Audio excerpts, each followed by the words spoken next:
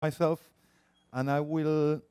It's related to frustration. I mean, well, my, I was supposed to talk about frustration for four hours, but since you are very experienced in in protein folding, and so I will try to comment on the problem we were looking at, uh, which is basically uh, exemplified again in this very nice cartoon, which you already read. And again, same trick as always. Which one is the random sequence? Okay? Both are clearly not random sequences, okay? So, the point is that most, again, going to this, it's not a paradox, but it's an observation that most natural sequences appear to be random strings and most random strings do not appear to be proteins. But there is an exception to this. There are some proteins that are clearly non-random. You look at the sequence, and you find repetitive patterns. A pattern that is a repetition. Basically, you have, so this is a representation, this is a non-working pointer, but there is a representation. Should I turn this on somehow? Ah, qué, qué boludo. Gracias. Okay. So you take the sequence and you just try to find uh, matches to known uh, patterns. And you see that some protein sequences, well, you do find a domain of something of a phosphate kinase something. And then plop, plop, plop, plop, plop, plop, plop, plop, plop. Contiguous repeating elements of sequence. There are several of those in very different uh, organisms. In general, these patterns are of about 20 to 40 amino acids in length, and they are in tandem, repeated. They are in everywhere, and they typically fold in this kind of topologies. Like in the ankyrin, you have 30 amino acids, 33 amino acids, 33 amino acids, 33. So the sequences of these regions look as the sequences of these, look at the sequences of these. They are similar. They are not same, they're similar, and they actually fold into similar structural elements, right? Of course, what, what you don't expect anything else. But they actually form this kind of objects that, well, they're clearly non, not as a globular protein, like ankyrin or PUF or heat or armadillo, leucine-rich, TPR, some of them do look lo like globular because the repetitions close up, they close uh, end to end, so they form these kind of globular domains. But clearly, this, in these proteins, you do see non-random patterns. Okay. How do they fold? Well, you can do Go models, for example, on this. And uh, here are some ankyrin proteins of different length. But you see, they conserve the same topology. So maybe the Go model will give me just the same thing. Well, actually, no. Just a very simple C-alpha Go, for example, of this protein here. You start a dynamics at some temperature. This is a number of native contacts. Protein relaxes to some state in which it just unfolds that this part. Then it goes to this intermediate, which unfolds the other end of the repeat array. Then it goes back, then it uh, unfolds completely then it refolds to the intermediate, and so. This is for one case. We studied several cases. Say, for example, instead of notch, this is I kappa B, another ankyrin repeat protein, in which if you do dynamics, uh, several dynamics, and uh, find out to how to compute the, the heat capacity in temperature, you see there are two peaks, there are two folding transitions, for example, and this is just a C alpha Go model, right? Uh, so predicting the actual topology, the fold from the sequence is almost trivial. You just give me any sequence, I look it, it looks like an ankyrin, I can thread it in and it's an ankyrin, I don't care. Actually predicting the dynamics is non-trivial. Why this object that has this topology is very similar to this object that has this topology, but the behavior is different.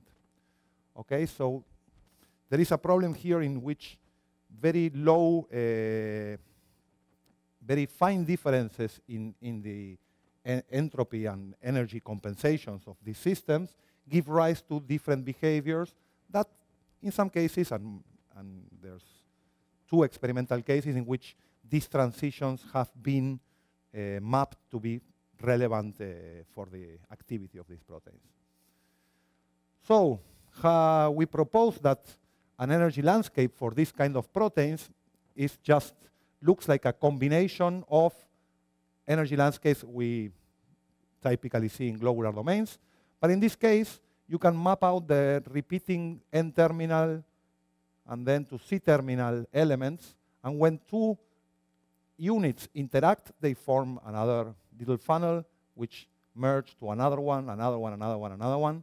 And again, this is related to the native contacts and to energy. So in most of, the, of these experimental systems, it has been shown that one repeat is unstable. Basically, you cannot fold one repeat.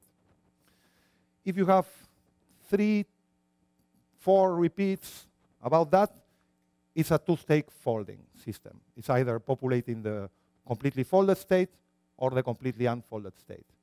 But as you get longer and longer arrays, uh, longer and longer uh, repeat arrays, then you can stabilize intermediates. Okay, and in this picture, this is just a picture, it can be seen like this. So if you look at the free energy, for example, uh, in the reaction coordinate of native and unfolded, you can find stable intermediates.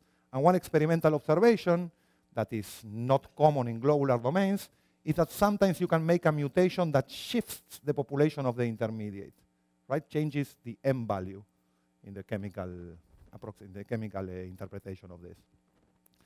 And well, you can explain this just by uh, showing that, well, well uh, assuming that the actual folded structure is just, you're just changing the structure of the intermediate because you're consolidating more repeat units together. Again, uh, it has been shown that for this kind of proteins, you can map out uh, folding routes.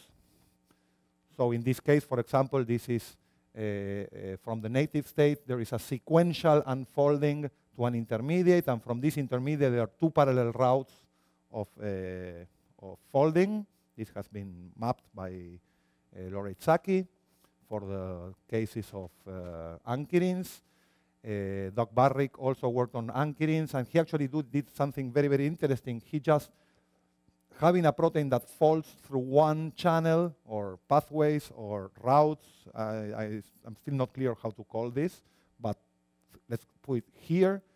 If you make more stable, thermodynamically more stable repeats on one end, then you can shift the whole folding and polarize it in the other direction. Okay? So in this case, this uh, shows there is, there is something going on in these proteins that doesn't Eh, it's not that easy to map in globular domains because being almost one-dimensional, right, having this kind of elongated structure, it makes it very sensitive to the local interaction energetics. And they are very easy to map to the actual sequences because we know that the sequences fold into these elongated arrays. So there is a more clear mapping between the sequence and the structure and hopefully with the dynamics of these systems.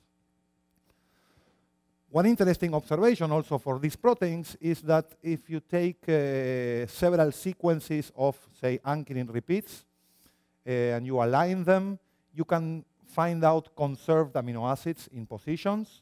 So, for example, Andreas Plückthun made uh, this consensus sequence, and then he actually made a very, very, very uh, uh, interesting and technologically important uh, development in which he put uh, three, for example, three repeats of this kind. Then he put two different repeats on the ends because of solubility and because you know you're dealing with the ends. Should be tricky about that. And then he built a library in which he varied these amino acids. And then he has a big library from which he has these design proteins that have mutations all around. And from these, these soups, you can fish out specific binders for a particular target you're looking at. Actually, the specificity of them are really up to the level of antibodies and stuff like that. So they are being used now for developing uh, specific binders uh, that don't have the, the difficulty of antibody production, purification, multi-chain, whatever the antibodies have. Okay, so we actually started saying, okay, this is simple, right? We just get the sequences, we know the structures, and if we don't know the structures, we can really build up the structures easy because, because we have good templates. Uh, and together, looking at the dynamics, we will correlate with the activities, the functions of these proteins. Uh, and then uh, we run into the first problem when we're trying to compare all this stuff in looking at the actual repeat unit. What is the repeat unit of this system? So if we look at all atom, this is an all atom uh, model from the X-ray diffraction pattern. Uh, there's no, no simple, we, we cannot see repeats here. Uh, it's difficult to see a repeat. If you look at the surface representation, it's also, you don't see repeats, right? This is a contiguous thing, one blob. But if you look at the C alpha trace, at the backbone trace, well, there you begin seeing repeats. So then we say, okay, how many repeats do you see there? Well, some people just look and, and they find two repeats. Well, really, but then maybe you can, oh, actually there's three repeats. No, maybe there's five, six repeats, five repeats, but this one, okay. So we have a, run into a problem of defining what is the length of the repeat structure that we are observing. And it's a similar uh, approximation to looking at these kind of patterns and telling what is the repeat unit here in these patterns.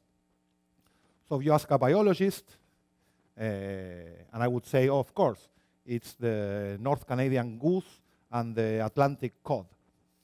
And then a physicist came over and said, no, wait, wait, wait, wait. Just, just give me the geese, and uh, I put the geese in this order, and the fish comes for free.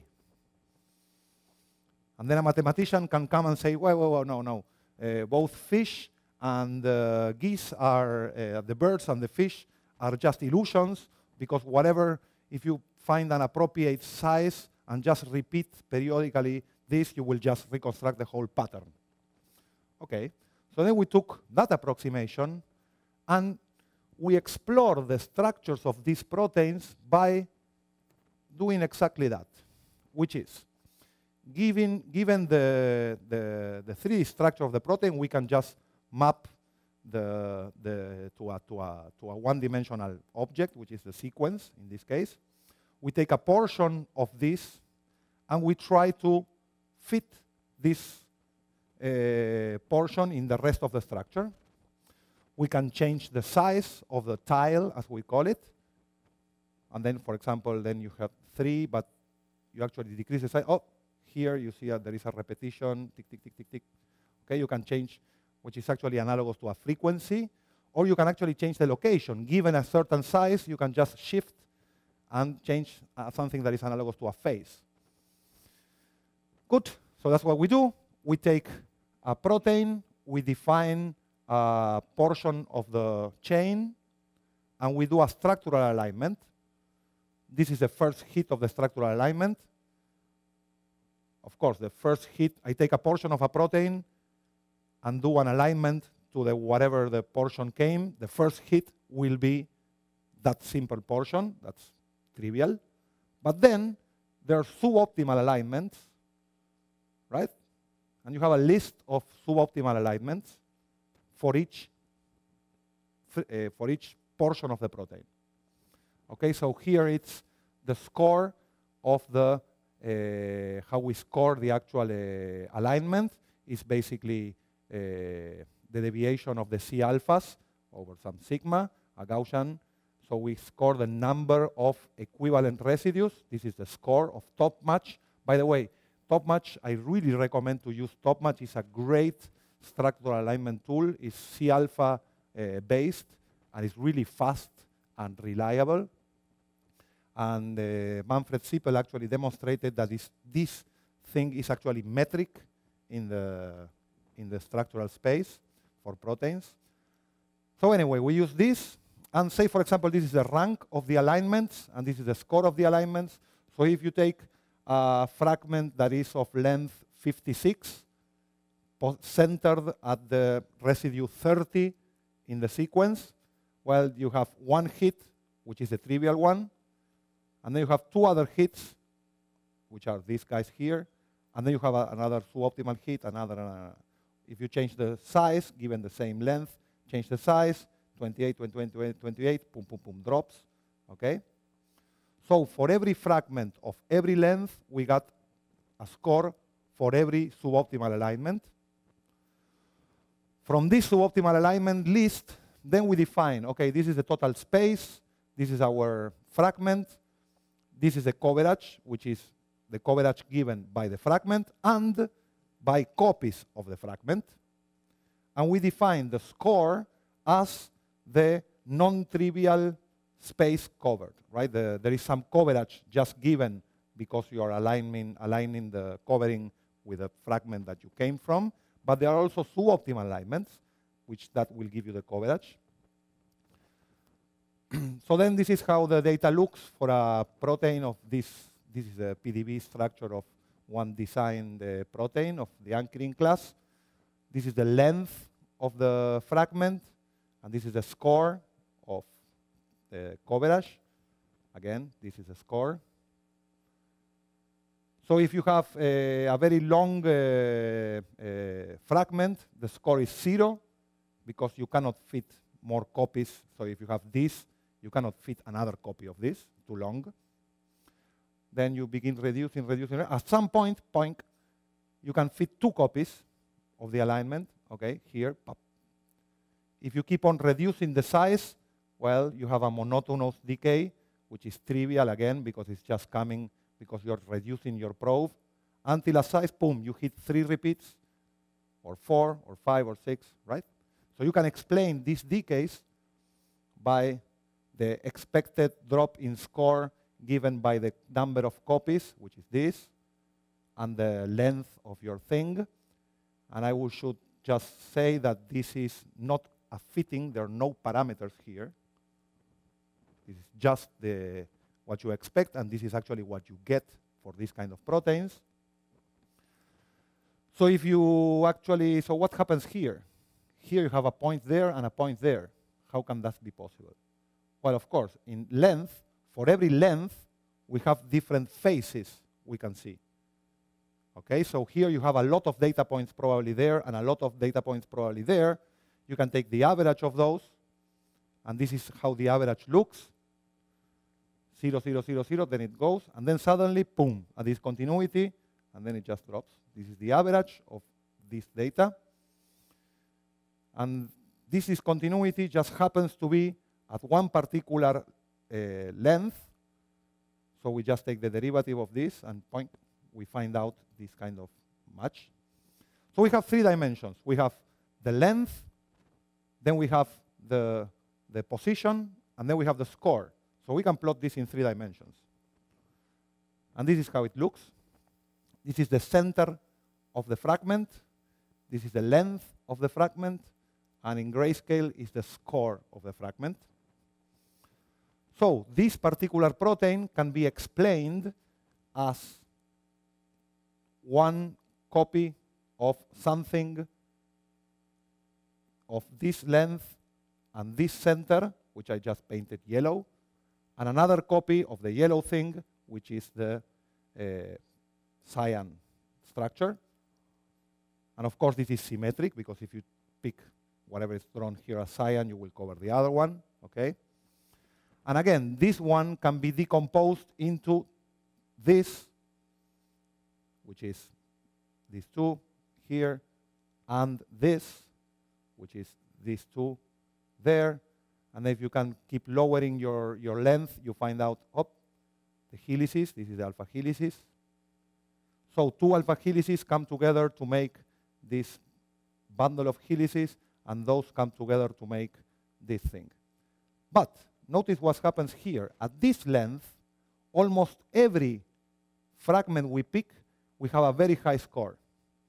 This is the situation. The yellow thing is the one here. Then you can put a copy, a copy, and then you cannot put a copy anymore. But if you shift in one residue, you can just put a copy, a copy, copy. Okay? So it actually appears like a wave. It's actually periodic. It's a periodic object at this length scale. Great. So then we, have an, we found an objective way of defining the actual repeat unit. We define the repeat unit at whatever length uh, we find the peak in the score. Again, so this is natural proteins of this kind. The other ones were designed proteins. These are natural proteins. This is a natural protein of this size. And we can make this kind of graph for every protein. And we have find here the, uh, the derivative of the accumulated score. And we see a peak, the biggest peak here, we, pick, we define as the repeat units, which are colored this way. And it actually matches what we know for ankyrins, which people have defined, oh yes, it's 33 amino acid less, that's okay. There's some subdeviation in one protein or the other one. Uh, this one, for example, that looks very symmetric in general, if you actually look at the structural superposition, you see there's not everything is equivalent. There's one peak there that is the, the repeat uh, length we define, but there actually there's asymmetries in the distribution which tell us about uh, twists in this uh, superhelix. This one is a nice example because here are the, the repeats, and you see the the, the, the signal for every length, and you see that the highest peak is not this, but this, the second one, which is, it looks like people have called it a two repeat, but the actual signal is one repeat, and we find out this is coming from a 28 amino acid, 29, 28, 29, 28, 29. So the repeat unit actually is a 28 plus 29. It's not 28 nor 29. It's a double thing. Okay, and then you see the other peaks related to probably harmonics, or I don't want to use the wave terminology here because this is really not a truly actual uh, decomposition, but this is fun. So this solved our problem of defining the repeat unit. So once we define the repeat unit structurally, we can go and look at the sequence and see how well these units match back to the sequence. So again, this is the designed protein, this is the position, this is the length, and this is the fraction of hits that actually cover uh, the, the, space. So in, a, in, in, this kind of design proteins, there's no particular, uh, they, they, are really continuous. There's no particular uh, splitting of regions. But in natural proteins, like this one, we can define that right? They are really units, structural units. Again, this has no sequence information. This is just a structural information. And we were really very happy with this because we could define the repeat units in a, in a kind of objective way. So then we went back and say, okay, great, now I have it. I have the sequence because I defined the sequence. Uh, I can look back at the sequence and I can align the sequences. And then from this kind, I can just make, uh, calculate some kind of energy over the structure in this case, we're using the same one as I told before, the associative memory Hamiltonian, right? The one we use for the frustration. And we can calculate the frustration pattern for every fragment of every length in every uh, phase. Okay? So we expected to have this kind of graph in which we can map out, okay, I given this uh, structure, I predict that the folding will be favored in this direction. Will be nucleated either here or here, and it will propagate from here to there. Or if you score another one, you see that there are differences. And we wanted to go and actually design in a protein that folds one way, the other one get an intermediate, not get an intermediate. Uh, so basically, we wanted to, to actually uh, investigate how the sequence changes map to the uh, landscape changes which are related to the folding changes. Uh, we ran into a problem because we, wa we wanted to make a, a, a, a sanity check. Okay? So for the few proteins that we know, we have information about how folding is affected by point mutations.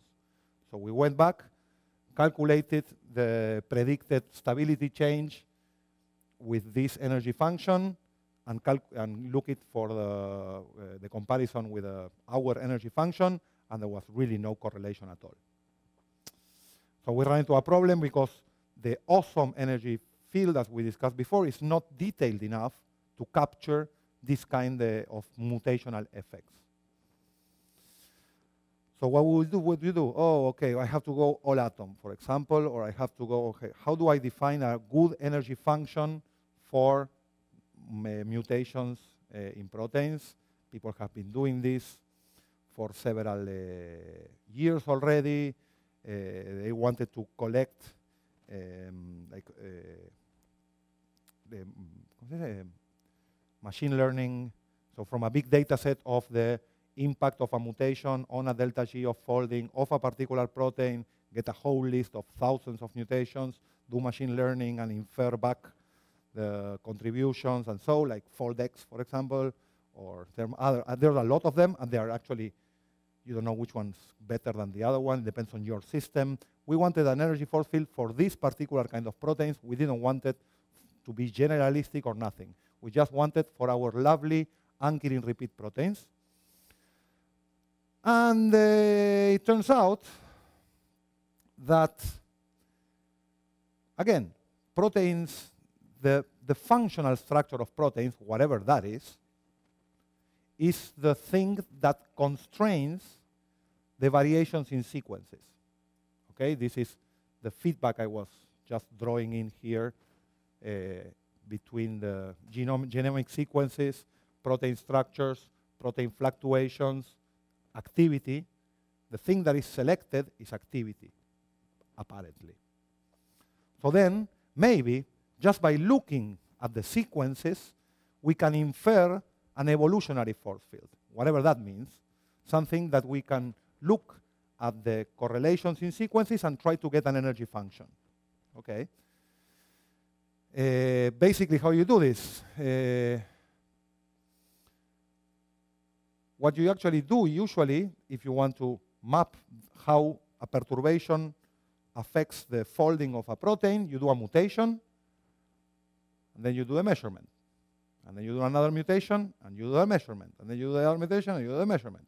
This is a really tricky experiment. It takes at least a week or two weeks or a month, depending on your system, to do one mutation, analyze one mutation. We are here, we're dealing with objects that the repeats are about 30 amino acids. So I want all the mutations in every position, but also I want the pair mutations in every position. This really is a combinatorial explosion. You cannot do the experiment. But I can claim that the experiment has been done over the last 3.5 billion years. Okay, there is one big experiment that has been going on uh, at it appears that the replicas are missing. We just have one data point, which is the actual uh, biosphere. But if you get sequences from several uh, proteins of the same topology, you can actually map and look at the sequence variations. So these are different sequences of ankyrin proteins. These are the actual sequences you try to align them, and you basically look for covariations. Okay? No big deal. So the simplest model to account for covariations uh, is something that looks like this. The probability of finding a sequence is just related, Boltzmann weighted, of the energy of that sequence. Let's assume this. And the energy will be given by some local field, which is you have 20 variations in whatever number of positions, at the couplings between every position and everything. So this is re reminiscent of a Potts model, I understand, right? It's not an Ising, but it's a Ising with 21 spins. And it happens that these proteins not only evolve by point mutations, but also you have, people believe that you have repeat duplications. Okay, so in evolution, it just happened that, boom, a whole repeat get duplicated or deleted. So if you actually look at the percentage identity of neighboring repeats or any other repeat, you find that the distribution is not uniform, but the uh, first neighbor repeats have a skewed distribution. Probably this, this, this comes by because it happened that you got a repeat duplication and then you have mutations, but it's not equilibrated yet. So this is, we take this into account by just adding up whatever other correlations are there which are not the pairwise are lumped into one parameter, which is a sequence uh, repeat identity. Okay, this is the model we have. Does it work? Well, I don't know. Let's see. How do we do it? We get natural sequences for repeat proteins of this size.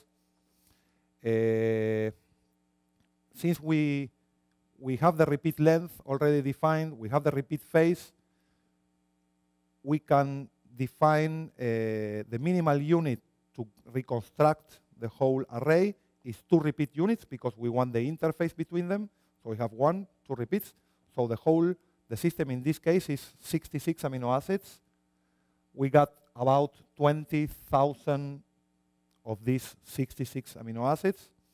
Again, we have to be careful about this because we have to avoid oversampling just because of sequencing, and there's other uh, biases that come just by phylogeny because there are much more, whatever, bacteria than insects than mammals or such. So you have to be very careful about the weighting here. So from these natural sequences, we just count the frequencies of every position and every pair position. From this, we get an initial guess of parameters for the H's and the J's. And we do a Monte Carlo from with this force field. We do Monte Carlo. We generate sequences. From these sequences, we get the frequencies, again, the single site and the pairwise. And then compare to the natural ones, and then tweak the parameters a little bit, right? Make a gradient descent, and do a self-consistent optimization until we converge, if we do. The good thing that uh, uh, we found is that there is enough data to converge this system for this kind of proteins. These are the natural frequencies again, the single site frequencies and the pairwise frequencies compared to the model frequencies. Again, just recall this is a log scale. And the error we ask uh, was uh, 10 to the minus 2. So we are, these frequencies, which are not well adjusted, well, are just below the error of the method and it's actually below the error of the natural sequences themselves, so we cannot ask the model for more. We don't want to go overfitting here. And uh, then we ask, okay, can we reproduce the identity between repeats, for example? Well, okay, these are uh, the, the random pairing. This is what we defined before. These are the natural pairs, and the points are what our model spits out. It's a very good fitting. We, so only with this, we are able to reproduce the uh, distribution of identity between repeats. Ah, well, does it actually correspond with the free energy change? Well, the free energy change of these proteins have been measured for mutants of I kappa B, Notch, and P16, which are three experimental systems, three natural proteins, for which people have made mutations all around, and this is the free energy difference for unfolding of the mutants, and this is the change in energy calculated from the from, uh, from this force field. And I would have to stress this is a correlation we have, and it's really good compared to other uh, methods that are out there to calculate the free energies for these proteins. So we were really happy. And then we look at, okay, now I have a force field that I can score any sequence. Just give me a sequence, I will score it. Boom, right away. I can measure the energy of any sequence you give me. Okay, you just give me random sequences, boom, the energy is here. Uh, it's around zero because this is the gauge we pick. We pick. So these are any any sequence you give me will score around here. If you give me the the natural sequences of this uh, family, is the red. If you give me, if I score whatever the Monte Carlo spits out, the design, the, the simulated sequences is the, the, gray, uh, the blue. And if I actually score the sequences of the proteins that Plückthun designed, that are known to be really stable and melt up to 100 degrees or something, then you have here. So most of the sequences that Plückthun design are really on the stable side of the distribution. Where, where, where is the energy coming from? Well, we know where the energy is coming from. We have the H's and the J's. We can look at the couplings, okay? And we can, this is how the highest, uh, the more favorable J's uh, match in the contact map. The contact map is just the interactions, uh, physical interactions between proteins of this. So at the 33, this is the first repeat. This is the second repeat. You see symmetric. And then the interactions between repeats are this.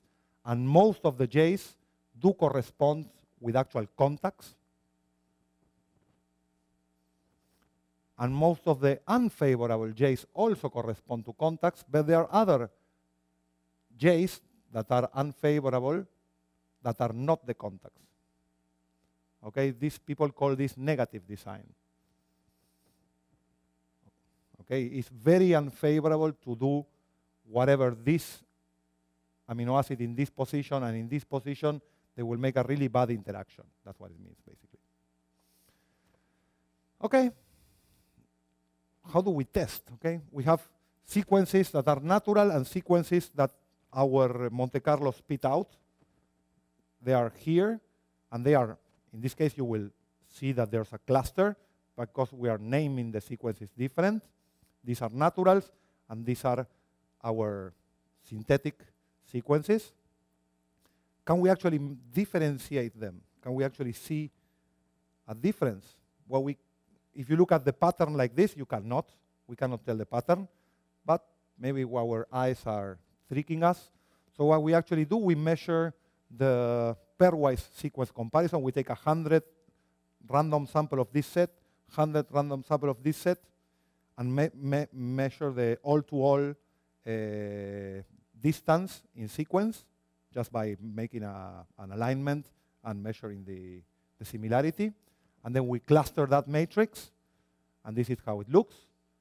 So you see, either then we mark where are the, nat the natural proteins or the simulated proteins, and you see they mix up, basically.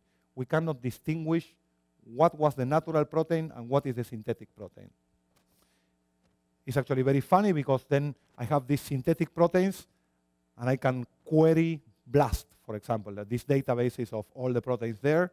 And some of them, BLAST will tell me, oh, it may be a mammalian ankyrin repeat, which is similar to that one. And then I get another one, and it tells me, well, this one, it looks like a plant ankyrin, and this one is like a... So it, we just sampling the whole evolutionary tree, basically, with this kind of uh, sequences. So what we're trying to do now is actually, well, okay, let's go and synthesize the proteins and actually tune in the stability. Now we have a score for the stability along all the, the, the space of uh, of, the, of the array, repeat array. So we will make proteins that are really stable on one end and unstable in the other. Or we can tune in and make proteins that overall are uh, uh, symmetric, but they have different stabilities. And we are actually trying to do this uh, just by tuning the sequence, tuning the microscopic energetics, and analyzing the stability of the actual system with uh, Laura Itzhaki. So the point is, uh, I wanted to just show you that some, some of the proteins can be composed with this kind of uh, a hierarchical assembling of, of, of uh, Eh, substructures, which we call tiles. And some proteins are really periodic objects, are truly periodic objects. And that the local energetics of these systems, at least, can be get just by not looking at the natural variations.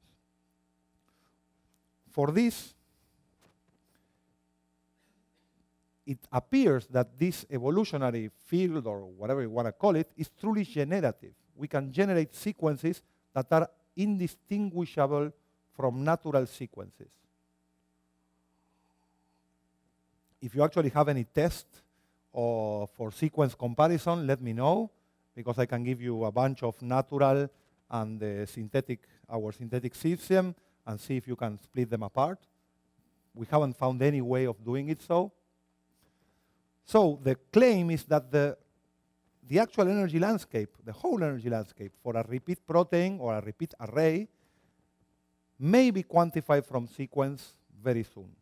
If this really works, this would be a shortcut just to get uh, uh, uh, tuning the stability and the actual folding trajectories just by tuning the sequence, if this works. So again, ongoing from sequences that look random, in this case, the uh, amino acid DNA sequence that look random, we get into this kind of object in which we recognize some symmetry, some beauty in it, some colorful properties.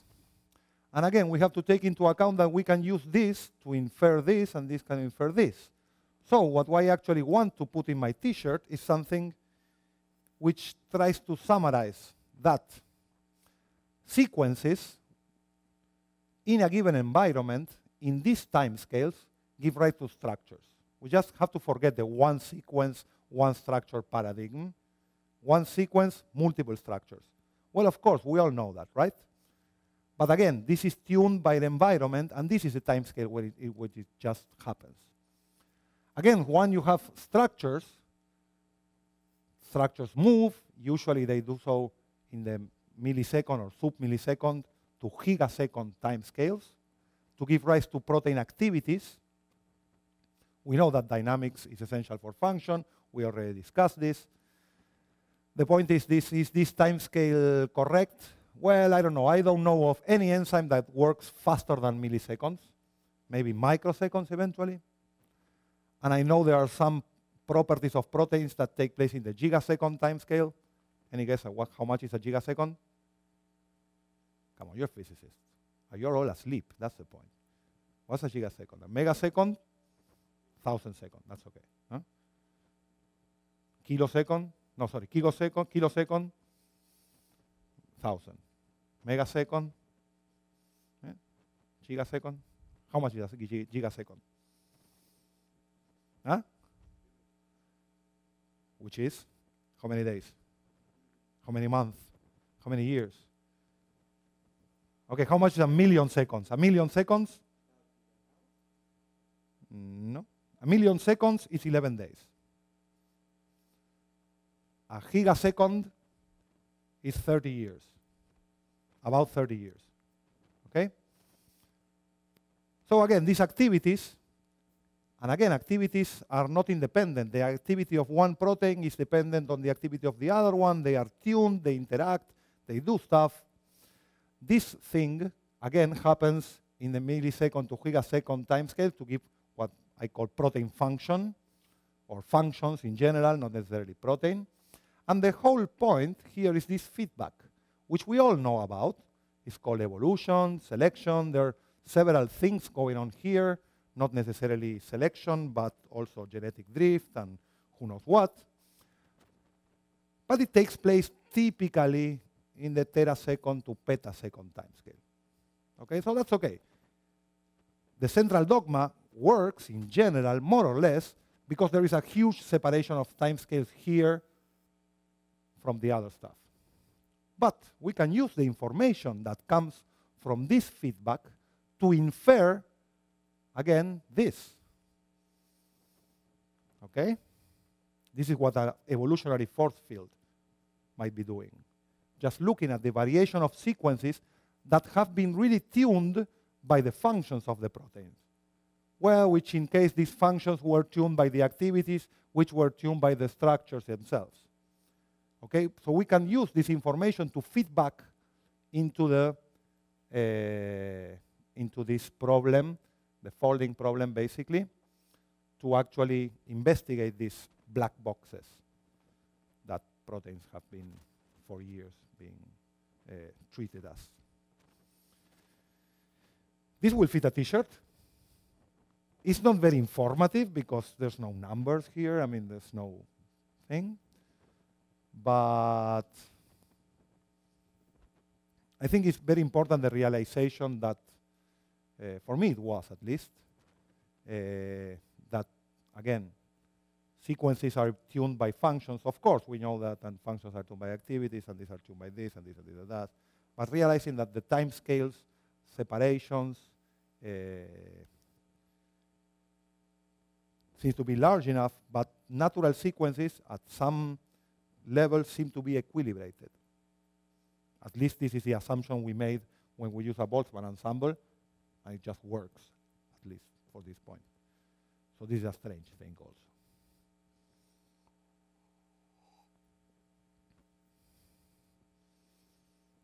We still have 13 minutes or more to discuss this, and we have two weeks already. I, I will probably be leaving next week, but do you believe it? Don't believe it?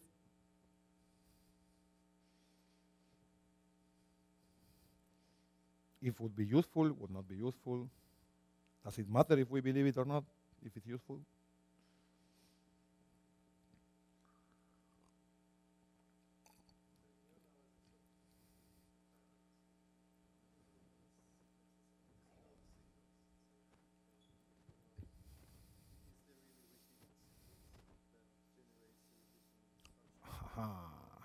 You're getting into a deep problem. Yes, okay.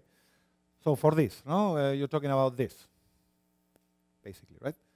This, all the things are based on structure. No sequence information at all. Finding the repeat unit.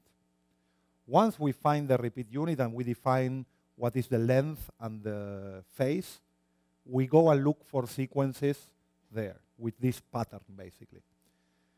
Is it truly repetitive? Well, I don't know, it depends on the threshold you put on the, your detection, right? I have a pattern to detect a hidden Markov model or something and scan databases with that. I have to put a threshold to say this is a hit or this is not a hit.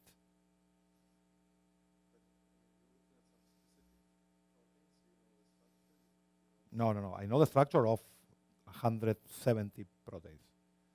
I know the sequence of 20,000. No, actually it's 80,000. So you're asking how, how do we collect the actual sequences or what you want? Now, we look at the structure at this level to define the, the length. Yes, and then we go with that, we go and look for sequences because there are much more sequences, right, to, to build up basically this. To build this, we go and look for sequences.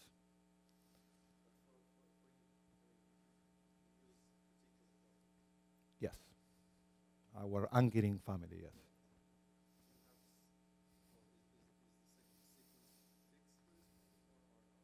What do you mean fixed?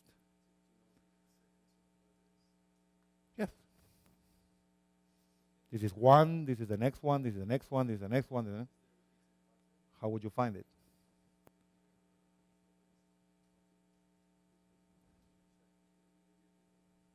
How would you find them? You will have to actually look somehow if a portion of the sequence here is similar to the portion of the sequence here, basically, right? Okay, define similar. Yeah, uh, yeah, yeah, yeah, but, yeah, but I'm, I'm challenging you that, okay, there is a problem here, you know, sequence alignment. You're asking for sequence alignment, getting a sequence and trying to align here, here, do I see the same sequence this is, a, this is an unsolved problem. Why? Angel, why is it unsolved? Why? Because the length is not constant. Then you have one problem here, which is the gaps, what is called gaps. Here you have amino acid, amino acid, amino acid, amino acid, nothing. Amino acid, amino acid, amino acid, amino acid, amino acid. Okay? This is not possible. What, what you actual sequence, we say amino acid, amino acid, amino acid, amino acid, amino acid, amino acid. You will never, I mean, there's no gaps in the real proteins. But when you begin trying to align the proteins, then you find out that there are some positions, like again, this thing, you see the K here more or less, and some pattern. So, okay, I will put a gap to be able to actually optimize the alignment. Okay? And then you run into problems because you have to tune in what is the penalty of adding a gap okay? Or gap opening and gap extension. So people have been working on this for last 20 years, and there are a lot of heuristics that actually work very well. BLAST, for example, works well for searching similarities between proteins, but they're not perfect. And there's no metric to say this sequence and this sequence, what's the distance between this sequence. There's no metric there, true metric. There are scores that relate each other, and then uh, would you consider like the H and the Y to be similar? Or are they more similar than the Y and the S or the N? So then you have to group amino acids according to, for, to some criteria. In this case, they are painted in colors by uh, chemical criteria, like uh, charged or hydrophobic or setting a threonine or whatever. I mean, there's some criteria. And this criteria, you can actually build a matrix of the probability of transforming from one residue to the other one. But again, it's not, there's no one matrix that will tell you, given two sequences, what is the maximum, the, bet, the best, absolute best alignment. It's an unsolved problem.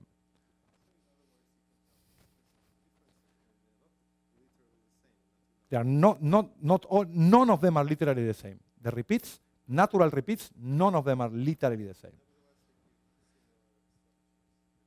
There you go, exactly. This is the thing we're looking at, ex exactly at that. We assume that all these proteins will have similar structures, and then we look at the sequence variations. This is what we are actually doing with this. Basically, you look at the probability of a sequence, assuming that all of them have the same structure.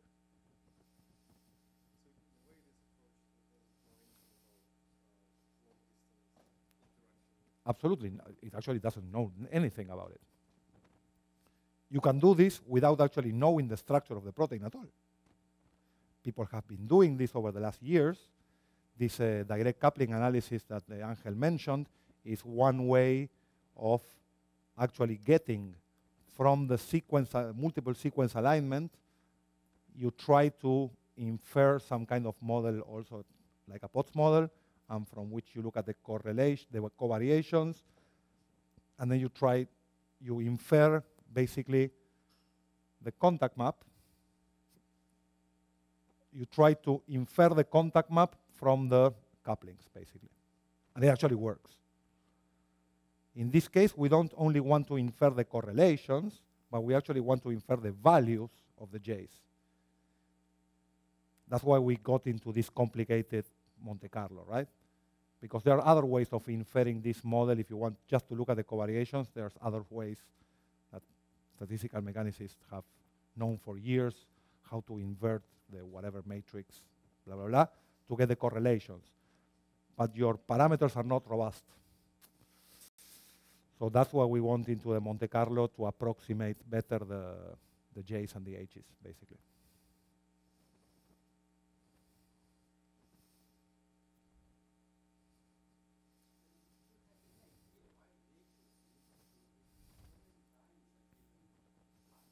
Oh, this? I, why, why, why do repeat proteins exist? That's what you're asking? Like this?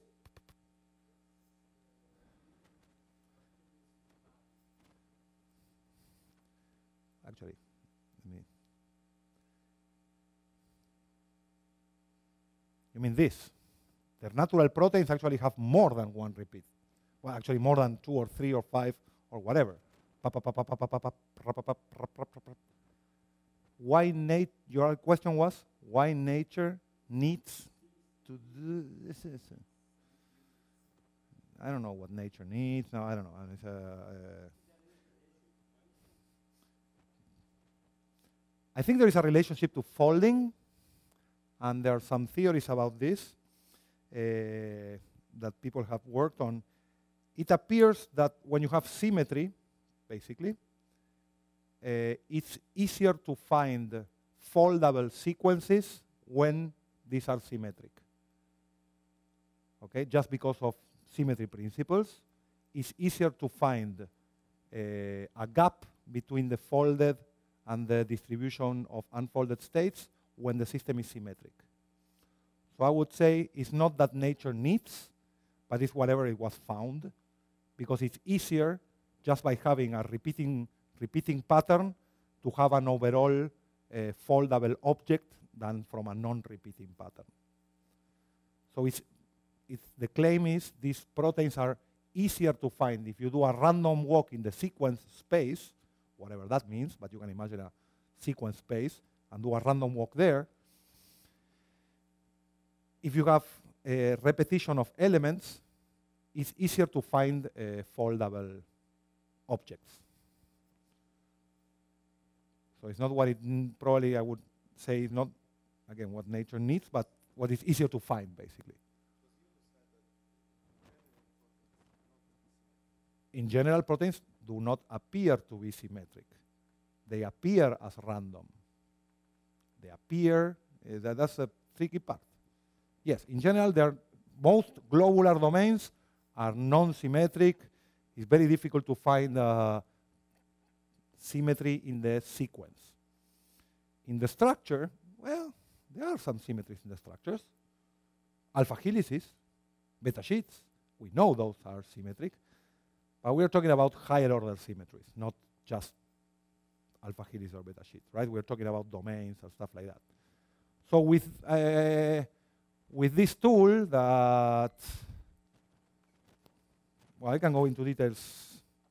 I don't have the pictures here, right? But you can do this, this kind of decomposition not only for uh, repeat proteins, but you can do it for any protein. And we actually found out there are apparent symmetries in uh, other Uh, structures that were not considered to be symmetric. But if you do this kind of decomposition, which you actually look at every possible length of every possible phase, you do see sometimes as higher order symmetry more than alpha helices and beta sheets. You see arrangements of these elements. But if you look at the sequence, it's completely lost. I mean, you don't see the pattern there, Probably because we don't know how to look at sequences at some point. There should be some pattern also in the sequence, but it's not obvious uh, from the matrices that we have today, the comparison between sequences.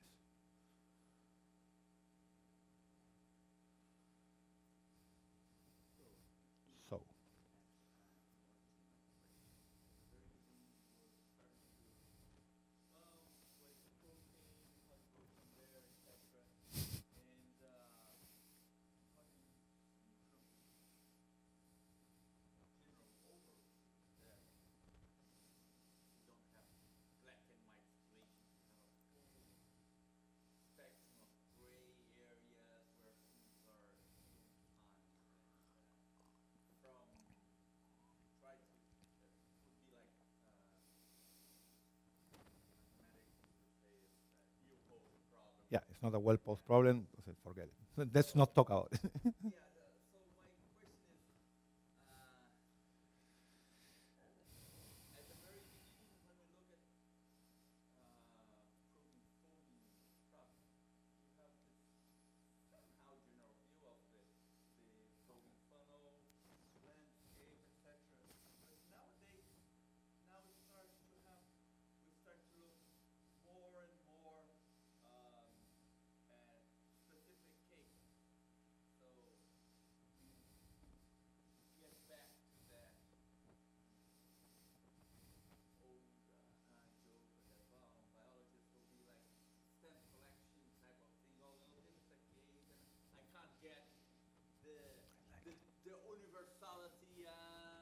Are, is there any universal? Uh, yeah.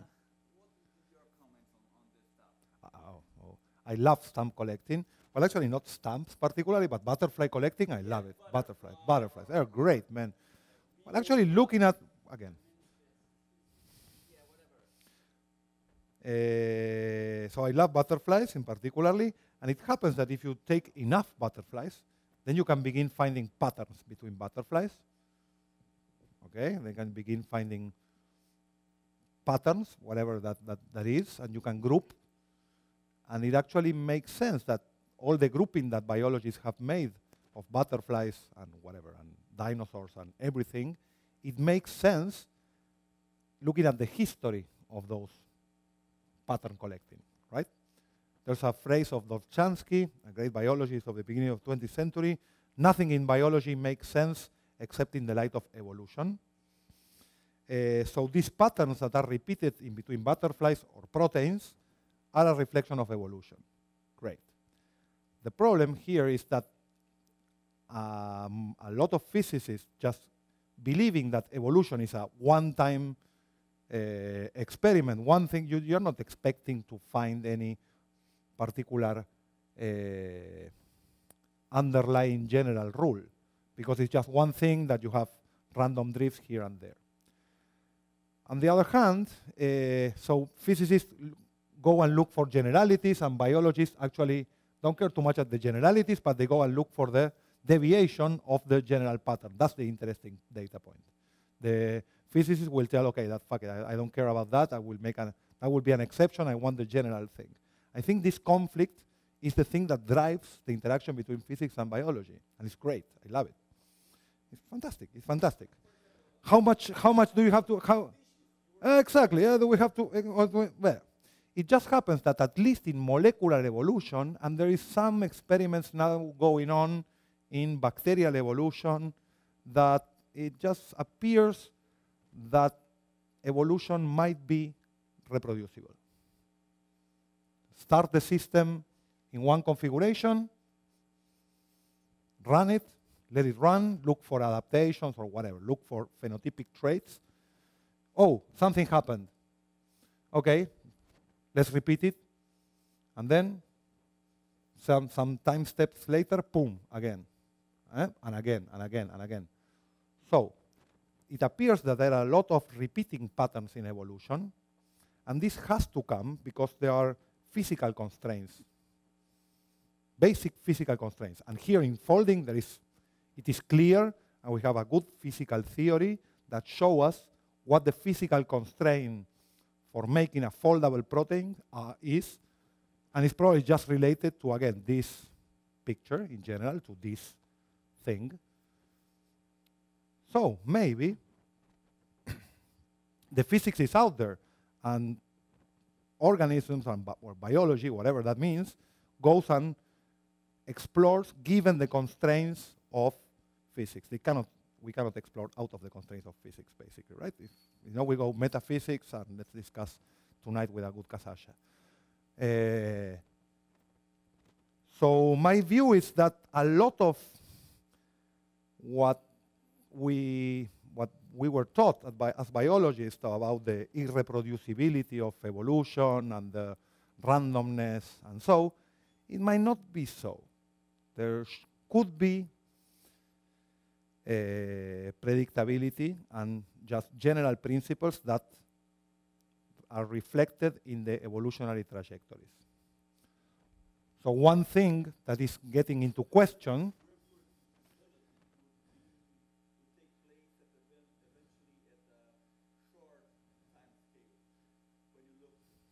No, at the long time scales.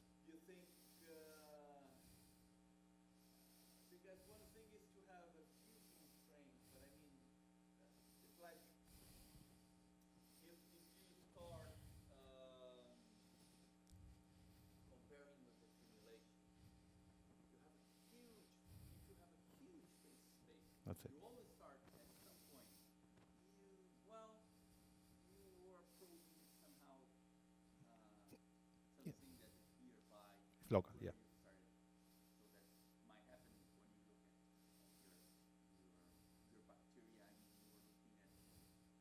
the adjacent possible. People have named this.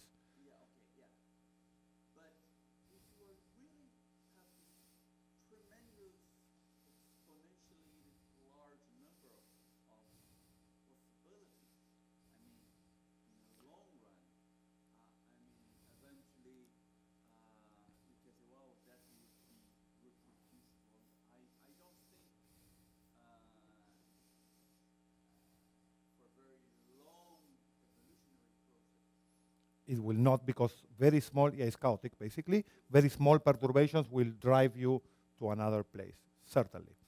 But still, when we look for traits in the short uh, phase space, okay, then you can see that, of course, you have random trajectories, but you have you can probably define states basically. Thermodynamics, okay, because it is out of equilibrium. I mean, it's not real thermodynamics. Uh, I mean, what thermodynamic states. It's not, but there's a lot of thermodynamic analogies that can be brought into. And this has been done since the beginning of the 20th century, right? The uh, evolutionary landscapes are from the beginning of the 20th century. The ontogenetic landscapes of how cells differentiate into different states and picturing a landscape out of this is from the 1930s, I think. Uh, Sewell Wright and those guys. So a lot of theoretical biologists uh, from the beginning of the 20th century mostly put out this language and tried to use the analogies, but they didn't have the mathematical tools, they didn't have out of equilibrium thermodynamics, they didn't have the data basically to, to actually do it. And now, since we're getting so high throughput in biology, you know, uh, Steve Bren- uh, Sidney Brenner said, we are in the, he said it in the early 2000, oh, we're getting in the, uh, how was it? Wait, a low, low input, high throughput, no output science. Okay, we're getting data, data, data, data, data, data, collect, collect, collect, hypothesis-free science. What the fuck? Well, okay, machine learning will tell us how to look at these patterns. I don't believe that's possible. I mean, it's not, at least for biological systems in which the phase space is so big, you don't know the variables. So you have to find effective ways of getting the, the effective variables, let's put it this way. And maybe you can define states and transitions and begin using the, the language so well developed in physics to biology. I think we are in very exciting times, let's say this way. These guys, uh, I'm already too old, probably you also, but these guys, when you really can begin treating genetic networks, uh, cell differentiation, on the development of organisms with these tools, well, eh, things will get really in close contact in in much more in much more contact than the theory and experiment in biology have been. If we are like looking into the what was in the 1950s that the physicists, the high energy physicist theory and and particle physics begin to interact closely. I don't know when it was, but it was when they begin doing the big accelerators and that stuff that they begin really looking at matching the data to the to the theory and reconstructing the theory and now uh, now we need quarks to well, whatever you tell me what is that biology has always been theoretical biology and experimental biology have always been very separated. Well now there are tools that allow to connect one to the other one in quantitative terms. That's the point quantitative terms not only qualitative uh, generalizations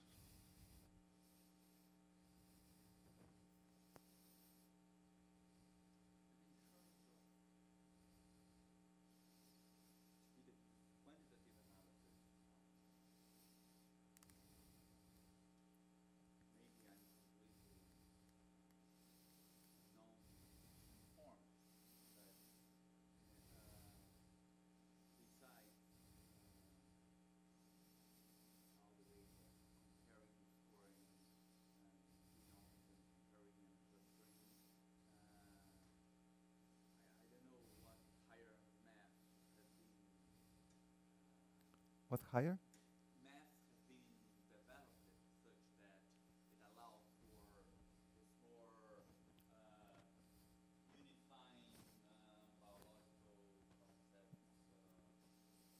There's few, but there are some.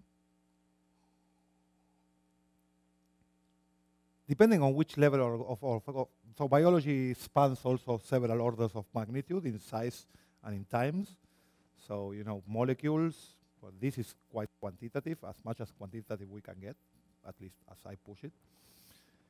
Then you have clusters of uh, yeah, groups of molecules, like big ribosome and stuff like that. And when you have energy flowing, chemical energy flowing in the system, you have motorization, active matter, they call it now. Yeah?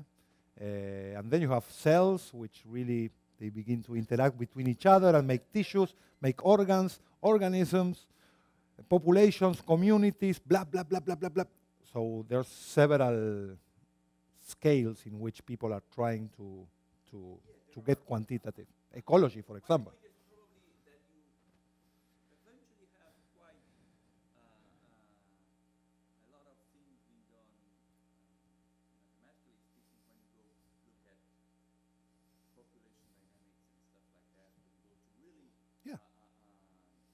Uh,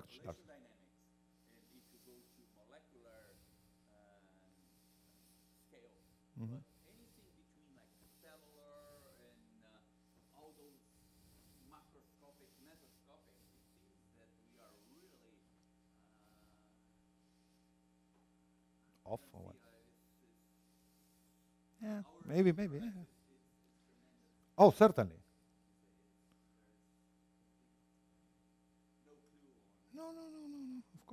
Yeah, I completely agree, yeah.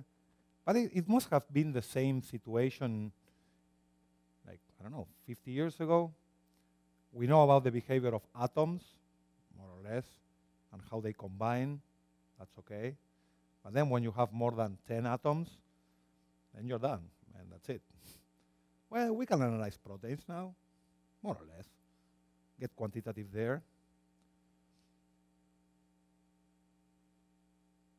And as you build from the bottom up, there's also come people coming from the top down, like cellular biologists. A lot of cellular biologists nowadays are turning to be crystallographers. Well, because they find out that this biochemical pathway is related to this protein, which this domain, I want to know, uh, boom. They get to be, they get to the molecular level, which was unthinkable 30 years ago. Like the regular cellular biologists, I mean. There were the structural biology, the biochemistry, and the cellular biology. Well, nowadays, people just move around this and get discussions and get things going. They are integrating around these areas. I mean, it's more dynamic in a sense. Bridging.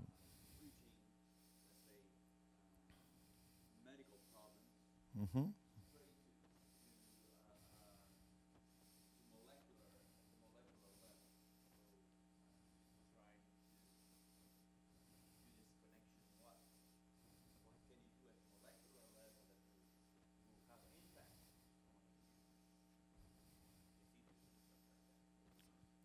Yes. Yeah, the problem is running out of uh, hope in that sense. Then it doesn't, so the theories about uh, the theories of 20 years ago about cancer, how, what is cancer and why it developed. Oh, well, you have uh, a mutation in some gene that is whatever, in some protein that is affecting the cell division of whatever, okay, we just go and map the genome of cancers and blah, blah, blah, blah, blah, and look for variations. Well, it happens that sometimes cancers, they are not associated with one mutation, not the other one, not the other one. You don't have ways to distinguish in what is signal, what is noise.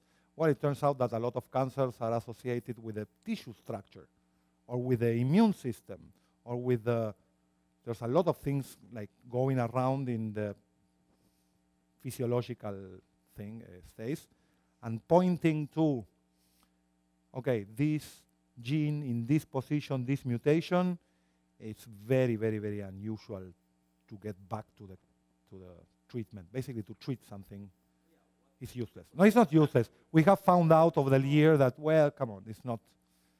But if you ask a population geneticist, they will say, okay, of course we know that there is a canalization or buffering. And they have words for the effects that appear to be genetic, but they are not genetic truly. And then what is a gene? Then you end up in, what, what do you mean by gene? Oh, well, these guys mean population geneticist or evolutionary guy or a cell biologist or a molecular biologist or whatever. They will have different definition of gene. So then what do we do? Well, then we, we need some theory, some theory that goes across the, si the time scales, the size scales. We don't have that yet. Maybe it's not possible to have it. I really don't know.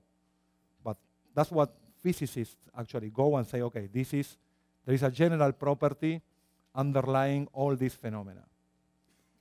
That's where generalities can be found. My hope is that there are. Maybe they're not. Well, okay.